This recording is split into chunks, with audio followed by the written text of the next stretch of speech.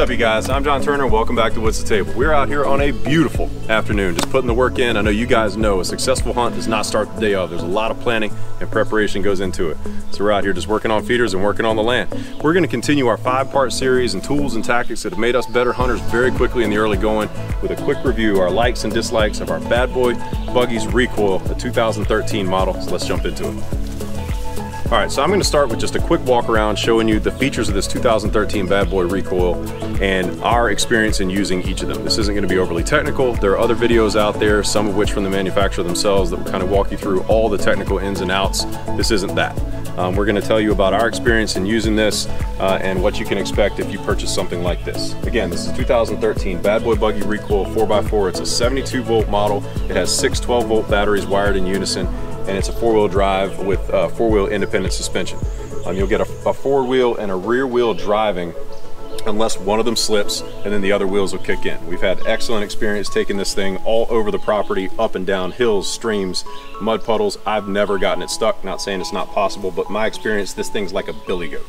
Side-by-side -side seating in the front, comes with an e-brake, nice cup holders, um, it's excellent when you have the family out, just using it for a variety of purposes. Has a lot of storage inside with the glove compartments. Um, you can get this with the utility bed uh, in the back that looks like a, a little pickup truck bed.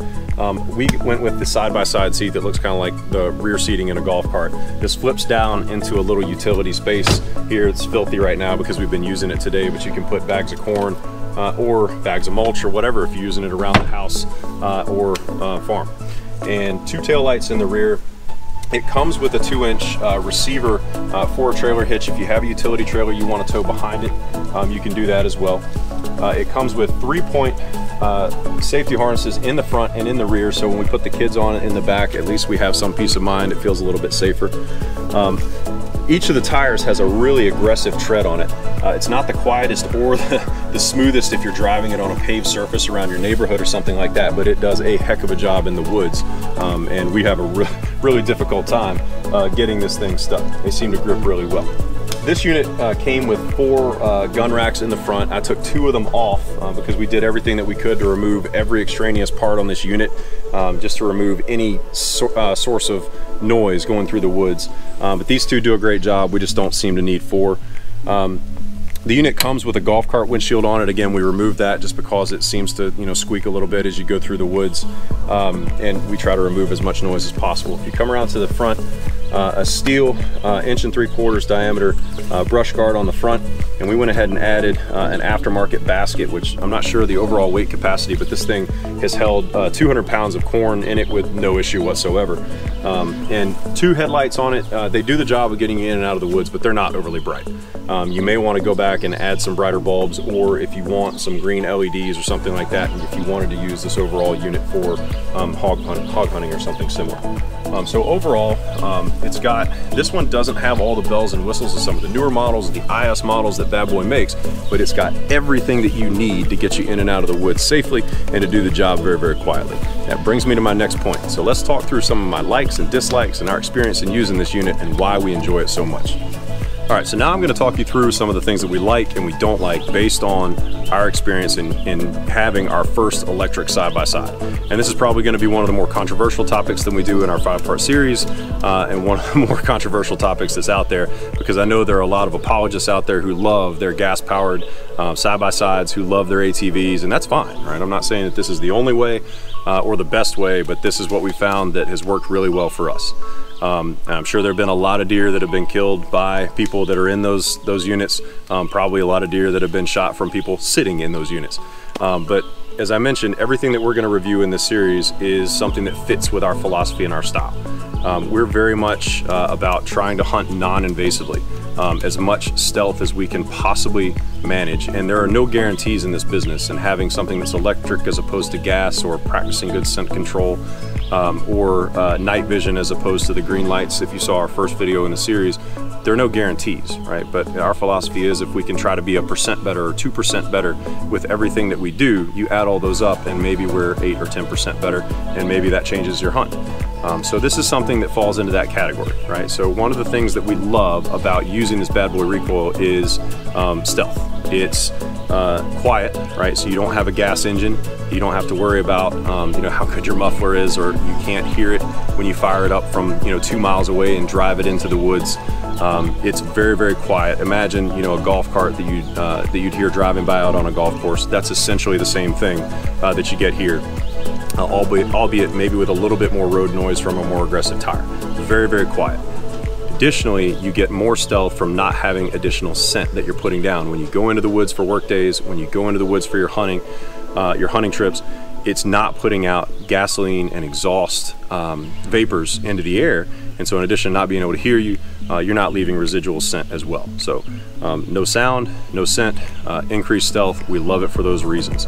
Um, it's very, very versatile and flexible. So when you're not using it for hunting, we love to use it around our neighborhood. The family rides it around. They take it to the um, to the amenity center in the neighborhood. Um, the kids really enjoy it. We take it to the pond.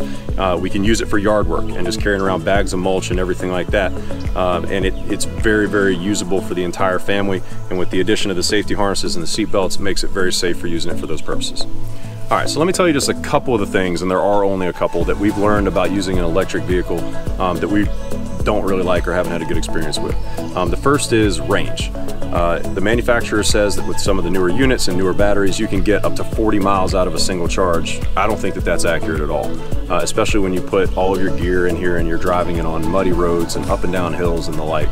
Um, you're not going to get 40 miles out of it. I'd say 20 to 25 miles is about the most you're going to get. We just replaced the batteries in this unit this spring, name brand batteries all the way around, and I'd say 25 miles is about the most that I could possibly hope for out of it. Um, but that said, 25 miles is usually okay, right? If you're planning a single day hunt and you plan your route pretty carefully, that will generally work and it runs really strong for the entirety of that hunt. Now, if you're going into the mountains or you're going to your hunting camp and intending to stay for several days um, and don't have the ability to recharge the unit, then this could be a little bit of a problem, right? You're not gonna go for a three day hunt and have this probably last you with no issues, um, which leads me to the next point. This takes a little bit of planning and, and sort of forth, uh, forethought.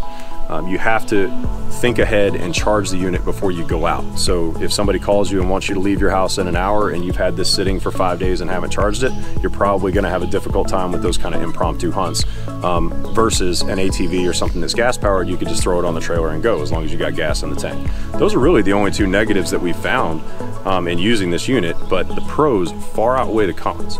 Um, this really fits our style of just trying to be as non-invasive and as stealthy as we possibly can and again, there's no guarantee, um, but we find that the quieter we can be and the less invasive we are when we go out for work days and everything really help us to not spook game uh, and to make us more successful hunters. We're gonna switch this from max range to max speed. And what happens when you do that, it goes from about 80% power from the batteries to the motor to 100% power. And you can get a top speed of close to 25 miles an hour. So we're gonna ramp this thing up, see if we can have some fun.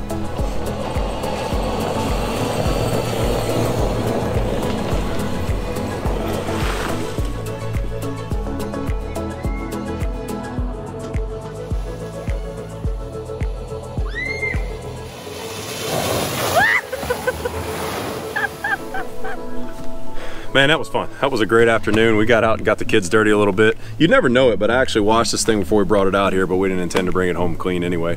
Um, real quick before we go, we talked a lot about stealth and sound and, um, and everything, so we're just gonna show you a quick sort of side-by-side -side or pass-by comparison. Um, one of our friends with an ATV and then us coming behind um, with this bad boy recoil running on electric. Just see if you can hear the difference. You guys judge for yourselves.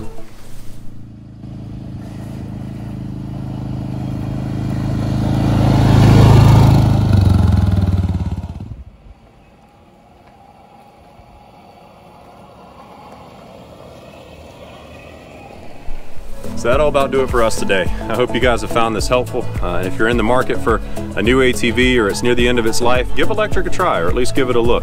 We have really enjoyed ours and gotten a lot of use out of it. We really think this is something that's contributed to our success as hunters uh, here in the early going. So give it a look. There's no magic bullets, there's no guarantees in this business, but I think that this will really help you and it's helped us a lot. God bless. We'll see you next time.